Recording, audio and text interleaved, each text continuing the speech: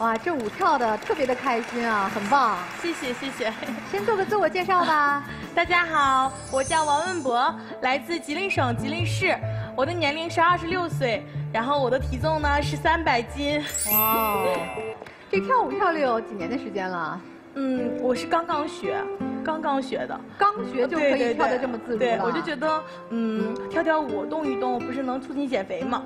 从小就胖胖的吗？对，从小就胖胖的。我出生的时候就八斤二两，然后我母亲生我的时候生了三天三夜，确实是遭了不少的罪。小学时候有多重啊？一百三十斤。小学就一百三十斤所以说我被呃小时候就被起外号，我父母就给我送去健身馆了。然后我也是碰到一个很有责任心的教练，然后带着我慢慢练练练瘦嘛。然后但是我就是。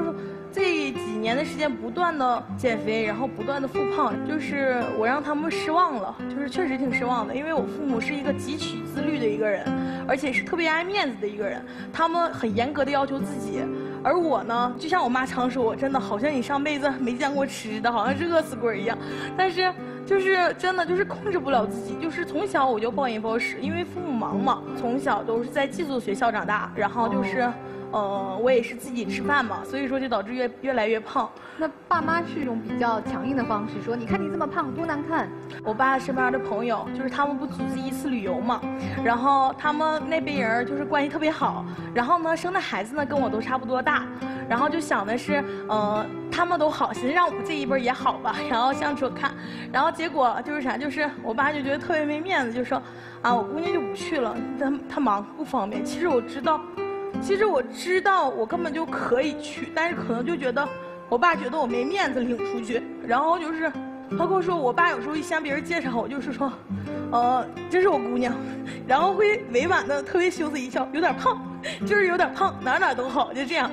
这些都让你挺难过的。对，其实我都在心里，我都有数，但是我也想减肥。他们觉得，为什么我们都能够很自律，为什么你做不到？所以，其实文博也真的觉得。想减肥，也尝试过，嗯，也希望被爸爸妈妈更完整的接纳哈。嗯，对。但尝试总是失败。对。哎，你最瘦就成年以后最瘦，通过减肥瘦到过多少？一百四。哟，那不错呀。那是什么？那是因为我去了呃蜂蜜减肥训练营，嗯，然后因为蜂蜜起来了嘛，你就没有办法偷吃了，你就每天都坚持的训练，然后因为那个时候确实也是小吧，就是出来以后。没有能够说克制住自己，我出来以后第一天，我就疯狂的吃，就是吃吐了那种也要吃，就是想吃，没有办法控制自己吃。我第一天，说实话，我就胖了十斤，你们都无法想象，就是啥，因为那些东西纯粹是我吃到胃里的东西，胃已经撑到不行了，但是我就是想要吃，我无法来满足我这个。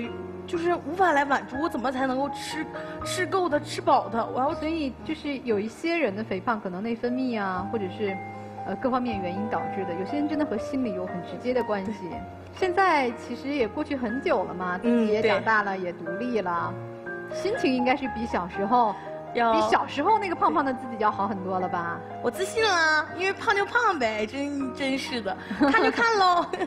找工作呢，会不会受影响呢？嗯，我这就是我这些年一直都干什么？都干的是花类的。嗯，二十岁那年开的花店。